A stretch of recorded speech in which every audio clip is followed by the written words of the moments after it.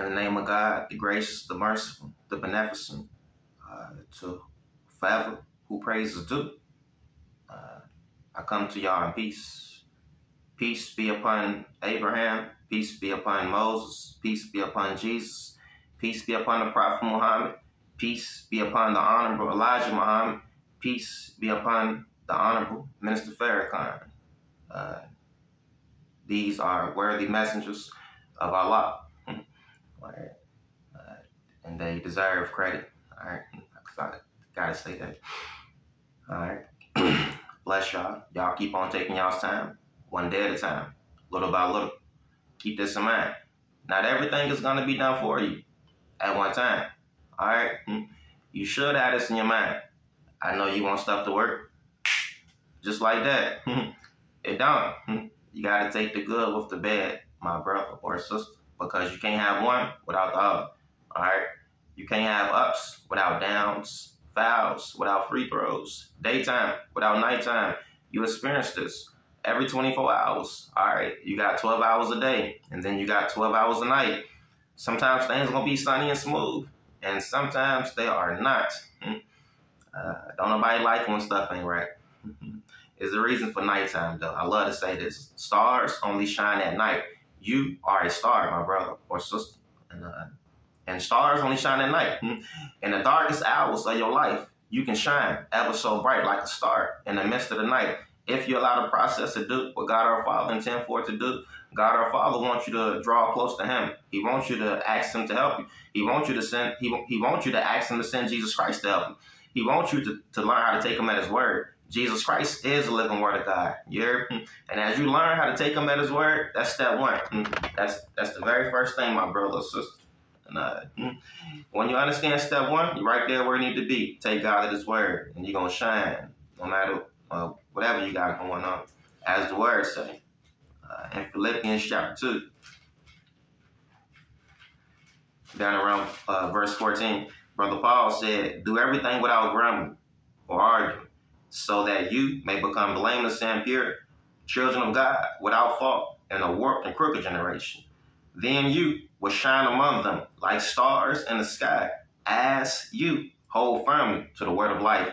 Hang on to the word of life, my brothers and sisters, mm-hmm. because that is that's the key. That's your lifeline. Mm-hmm.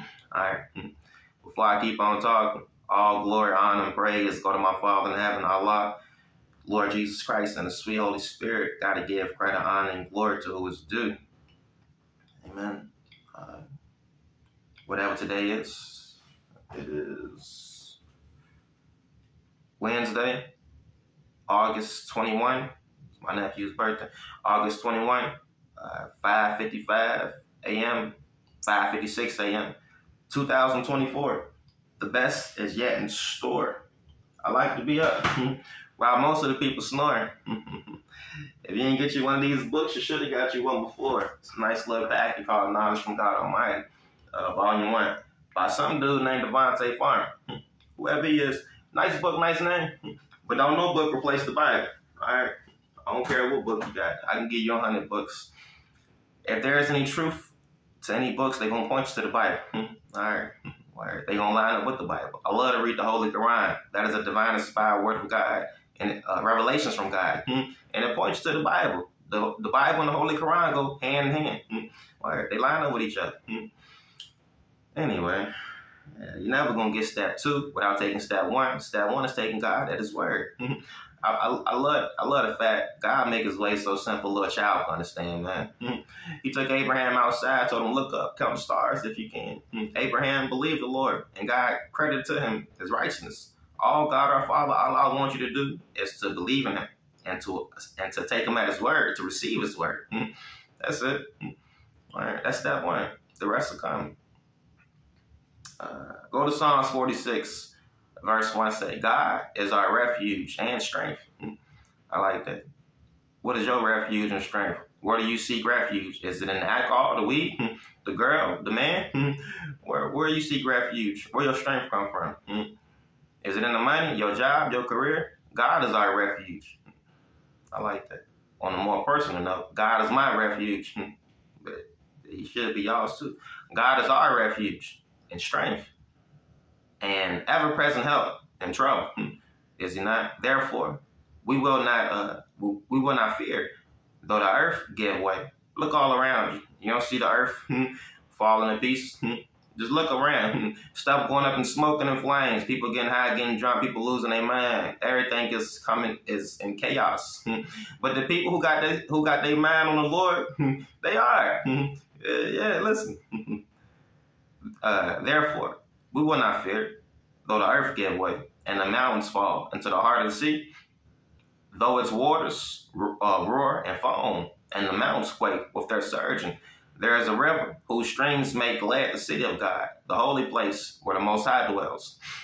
God is within her. She will not fall. Uh, God will help her at the break of day. Nations are in uproar. Kingdoms fall. Stuff falling all around you. Nations falling all around. Nations are in uproar. Kingdoms fall. He, lift, he lifts his voice. The earth melts. The Lord Almighty is with us. The God of Jacob is our fortress. Amen. Come and see what the Lord has done.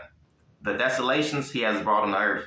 He makes war seas uh, to the ends of the earth. He breaks the bow and shatters the spear. He, he burns the shield with fire. He says, Be still and know that I am God. That's something to know. And sometimes in the world we living in, sometimes it's a time to move and get be in motion. Hey, sometimes being still is emotion in, in itself. I ain't talking about just doing nothing. Where y'all, it's it's it's a, it's an episode on SpongeBob. I remember. I used to watch the joke with my with my little brother sometimes. But anyway, and just just enjoy that junk be on. And sometimes that junk be funny. or I to act like I, I, didn't watch. All right, because they be tripping sometimes. But it was an episode uh, when SpongeBob got him and Patrick got stuck in a field somewhere, and they had this magic conch thing. the magic conch told them don't do nothing, and they was obedient to the conch. They they was doing something by doing nothing. They weren't just doing nothing. Some of y'all just doing nothing y'all doing nothing, but you're not waiting. You're not putting your faith and trust in the Lord. You're just doing that. Your mind not even set on the goodness of the Lord. If you put your faith in the Lord, and it's, it's sometimes it's a time to move, and sometimes it's a time to be still. But when you're being still, you're not doing nothing. You're looking to the Lord. Uh, he says, "Be still and know that I am God. Uh, I will be exalted among the nations. I will be exalted in the earth. The Lord Almighty is with us." The God of Jacob is our fortress. Amen. I like that. Hmm. sometimes you got to be still and let the Lord move and let the Lord work, and He will work. But this this ain't just a doing nothing thing. Uh, see what I'm saying? All right. Hmm. Actually, waiting on the Lord is doing something in itself if you truly wait. Many people just sitting around doing nothing. Right. Uh, nah. You know, I'm not scripting no coordinate. I never am. Y'all just gotta bear with me. you're not in a rush, are you? if you are, deuces. Uh, but if you're rolling, go to Matthew. Go to Matthew 16, verse 13. It say Peter declares that Jesus is the Messiah. Verse 13, chapter 16, say when Jesus came to the region of Caesarea uh, Philippi, he asked his disciples, "Who do people say the Son of Man is?" And not many people get lost on this question right here. Hmm? Who do people say Jesus is? Some say he that, some say he that, some say he the son of God, some say he a prophet, some say uh he the Messiah, this and that. That's a personal question. If you hmm, truly to classify Jesus and just one thing is uh you can't really do that hmm, because he's much more than who he is than who you know. but many people get lost and they get divided. But I like this. Jesus asked, he asked his disciples, Who do people say the Son of Man is?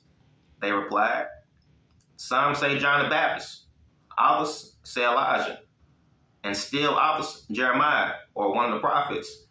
But what about you? He asked, Who do you say I am? Hmm. Simon Peter answered, You are the Messiah, hmm. the Son of the living God. Jesus replied, Blessed are you, Simon, son of Jonah. Uh, for this was not revealed to you by flesh and blood, but by my Father in heaven. And I tell you that you are Peter. Hmm. His name was Simon. Hmm. And Jesus said, I'm telling you, you Peter. Hmm.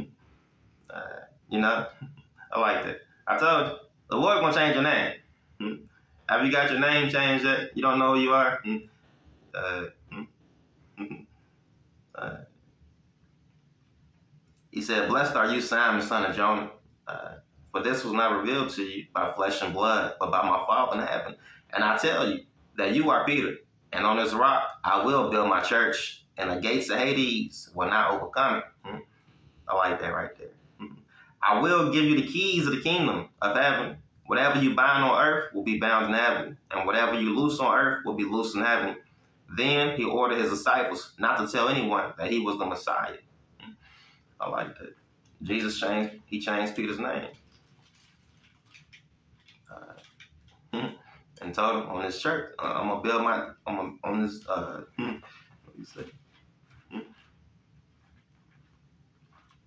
He said, uh, and on this rock, I'm gonna build my church, and the gates of hell not gonna overcome it. All right. I know that just say no, bro. but anyway, uh, yeah, you know, when you're dealing with the Lord, He gonna change your name. Now I'm gonna keep on telling you all, telling you this because uh, I want y'all to capture this. All right, Jacob wrestled with God. It says Genesis 32, verse uh, 22. That night, Jacob got up, took his two wives, female servants, his 11 sons, and crossed the ford of the Jabbok.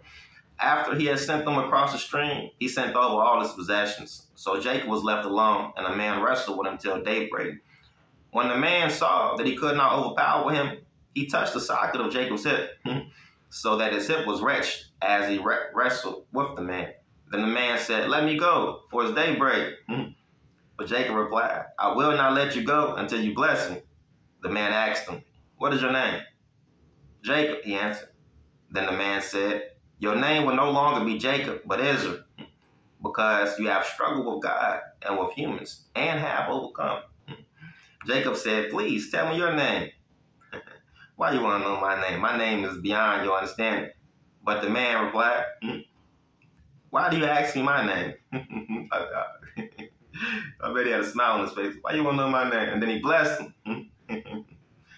then Jacob called the place Peniel, saying, It is because I saw God face to face, and yet my life was spared. Hmm? You know? When you do some struggling with the Lord, hmm, uh, He gonna change your name. But first of all, it is a struggle. He gonna make you alive. Go to Colossians chapter three and say, uh, Colossians chapter three verse one say, since then you have been raised with Christ. Set your hearts on things above, where Christ is, uh, seated at the right hand of God. Set your minds on earth. Set your minds on things above, not on earthly things. For you died, and your life is now hidden with Christ and God. When Christ, who is your life, appears, then you also will appear with him in glory.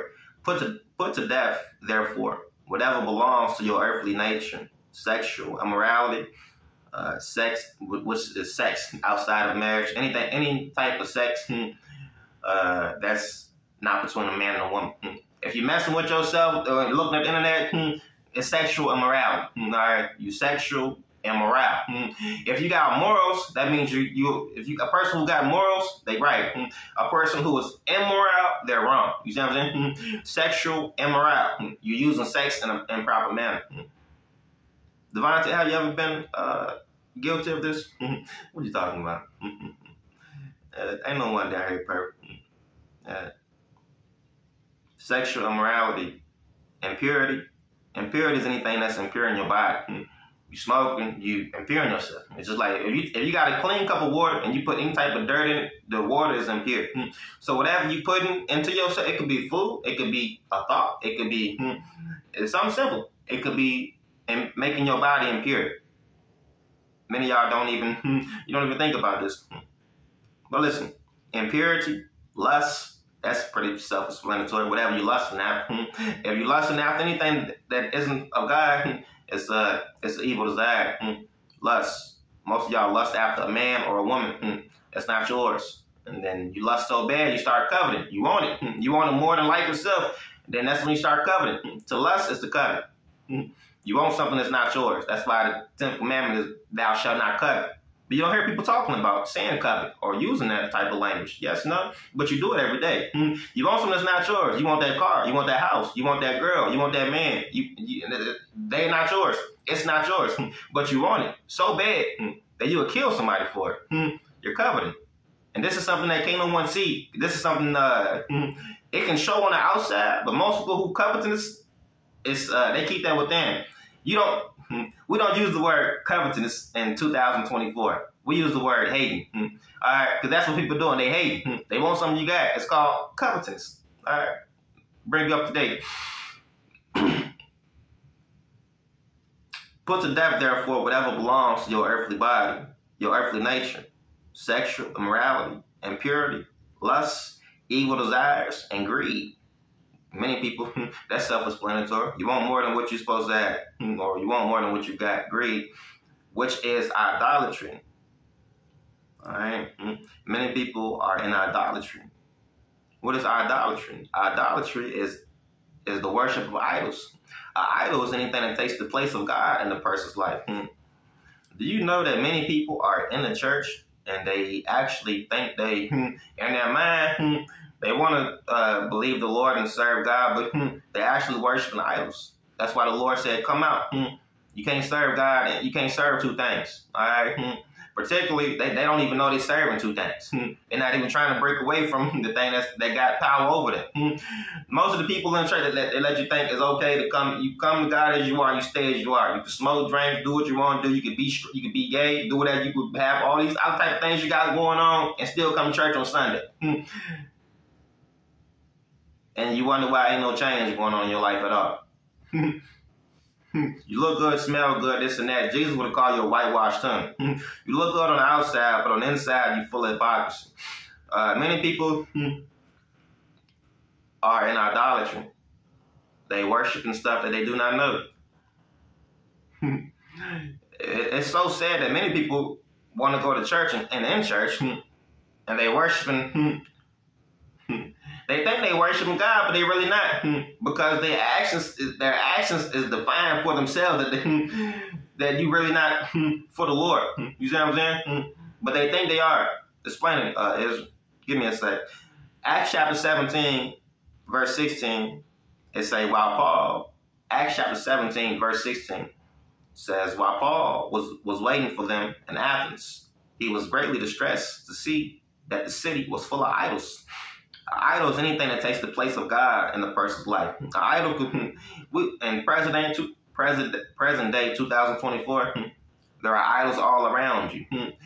When I first uh, thought about an idol, I thought about a little golden statue. Hmm. That's what most people think about an idol. You think of a little golden statue or a silver statue or some some, some type of statue. Hmm. You know what I mean? That someone that someone made and put up. You look around, you think to yourself, I ain't got no idols around my home. I ain't got no idols around me. Oh yes, you do. Hmm. What do you idolize? Some of y'all idolize uh, the money. Some of y'all idolize y'all job, y'all car, y'all clothes. You idolize that girl, that man. You put them or her over God. Some of y'all idolize y'all dad, y'all mom, y'all brother, y'all sister. Y'all put them over God. This is not what you're supposed to be doing. This is idolatry. Ain't nothing wrong with uh, having a job, money, a career, a family. Nothing wrong with these things. What's wrong is when you put them over God. You're making an idol out of it. Many, many people make idols out of small things. Some of y'all idolize food. That's why the Bible say uh, many people's God is their stomach. Have you not read that? Uh, let me see. Let me see. Give me a second. Their God is their stomach. I can't think of the scripture, but it's in my mind. Their God is their stomach. Yeah. It's Philippians chapter 3, verse 19. Philippians chapter 3, verse 19. Philippians chapter 3, uh, verse 18, Paul said, For as I have often told you before, and now tell you again with even tears, many live as enemies of the cross of Christ. Their destiny is destruction. Their God, lowercase g, is their stomach, and their glory is in their shame. Their mind is set on earthly things. Hmm. many people's stomach, many people's God, Lord g, is their stomach. Hmm. They listen to their body, hmm. mind, body, and spirit. Your body, you ain't got no control over your body. Your body ruling over you. Yes. Want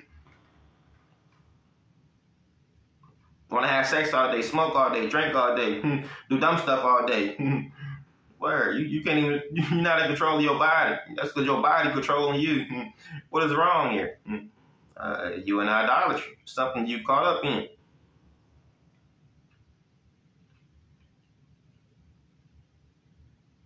So he reasoned, Acts chapter 17, verse 16.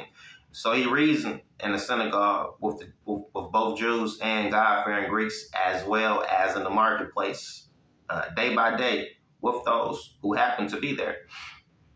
Uh, a group of Epicurean and Stoic philosophers uh, began to debate with him. Some of them asked, What is this babbler trying to say? Others remarked, He seems to be advocating foreign gods. They said this because Paul was preaching the good news about Jesus and the resurrection. Then they took him and brought him uh, brought him to a meeting of the Areopagus, where they said to him, uh, "May we know what this new teaching is that you are presenting? You are bringing some strange ideas to our ears, and we would like to know what they mean." All the Athenians and the foreigners who lived there spent their time doing nothing but talking and listening uh, to the latest ideas. That sounds like just like today. It says in Acts chapter 17, verse 21, all the Athenians and the foreigners who lived there spent their time doing nothing. Most of ask people, they, what you doing? Nothing. Just chilling. Hmm. What you doing? Nothing. uh, they spent their time doing nothing but talking about and listening to the latest ideas. You heard about what so and so did. You you see, he got that, that new jump. You see, she got that this and that. Man, where they get that from? That's all these people talk about all day. Is what what's the newest thing that happened? That's today, Andy. That's all people do is gossip what, what they done heard, what they done, what, what's the newest thing going on. That's what people doing then. Uh, Paul then stood up in the meeting of the uh, Areopagus and said, People of Athens, I see that in every way you are very religious. For as I walked around and looked carefully at your objects of worship, I even found an altar with this inscription to an, to an unknown God. So you are ignorant of the very thing you worship. This is many people right here.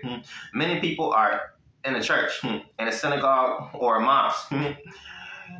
And many people are ignorant of the very thing they are worshiping. How in the hell is you in a place in the building? Man, make it more clear. Y'all so close to the building, y'all so close to the word, and you ignorant of the very thing you worship. Jesus said to the people, Y'all study the scriptures diligently uh, because you believe in them uh, is eternal life. These are the very scriptures that testify about me, yet you refuse to come to me. Mm. Mm. You, you, these people study. They so close, hmm. yet they are so ignorant of the very thing they are studying. Hmm. Man, that's how many people live in the church. Hmm. You in the church, but you don't really know what you worshiping. Word.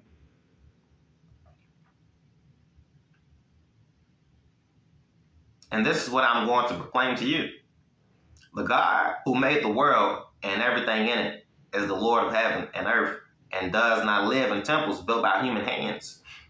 And he is not served by human hands as if he needed anything. Hmm. Rather, he himself gives everyone life and breath and everything else. From one man, he made all the nations, speaking about Adam, uh, that they should inhabit the whole earth. And he marked out their appointed times in history and the boundaries of, of their lands. God did this so that they would seek him and perhaps reach out for him and find him, though he is not far from any one of us, for in him we live and move and, and have our being.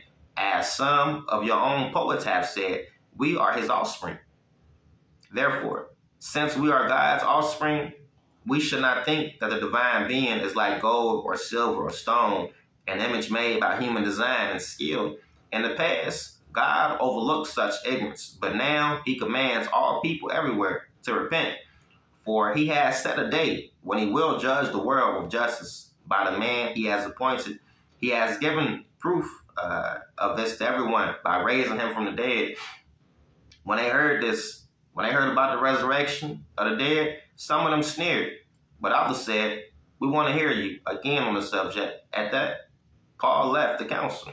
Some of the people became followers of Paul and believed. Among them was Di- Dionys, Dionys, a member, that's a nice name, was Dionys. Uh, Dionysus, a member of the Areopagus, also a woman named Damaris, and a number of others. All right. Many people are ignorant of the very thing that they are worshiping. Hmm? Show them somewhere else where that line of divine uh, is. Hmm? Sure. Go to Jeremiah chapter 7.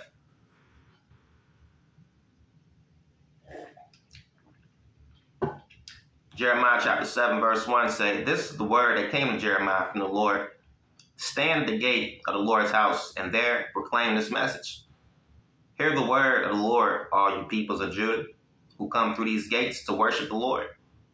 This is what the Lord Almighty, the God of Israel, says Reform your ways and your actions, and I will let you live in this place. Do not trust in deceptive, in deceptive words and say, This is the temple of the Lord, the temple of the Lord uh, the temple of the Lord.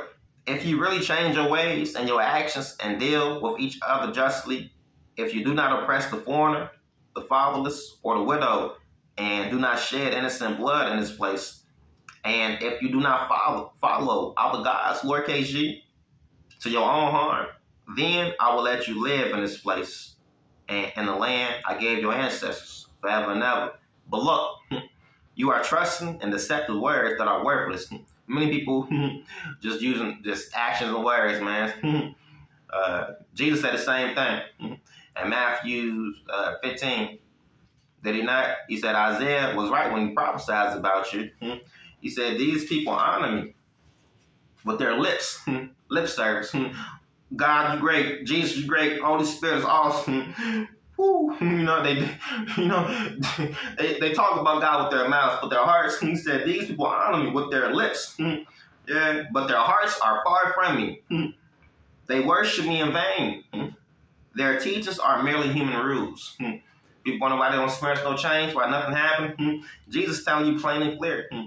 The people honor me with their lips. You don't really honor me. You just honor me with your mouth. You speaking good about it. Anybody can talk good about somebody but your heart far from me, what Jesus said.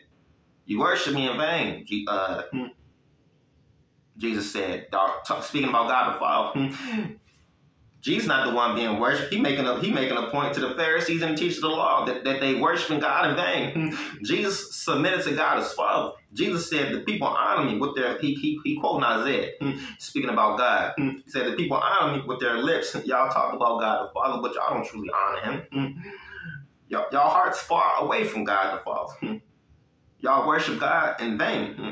Y'all teach God. The teachings about God is merely human rules. Hmm. Don't do this, don't do that. That ain't nothing to benefit your life in the least little rank. Why ain't your life being benefited?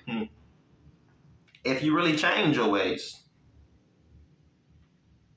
many people not, man.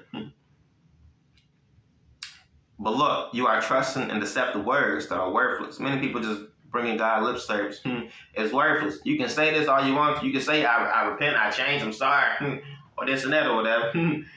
But it's worthless if you don't really change. If you keep on doing the same dumb stuff, you're not, you don't, you you you don't understand at least a little bit. If you keep on doing the same dumb crap you're doing. Hmm. Many people, hmm, the title say false religion worthless. Many y'all's religion is worthless. Hmm. You in a religion, but you ain't, man.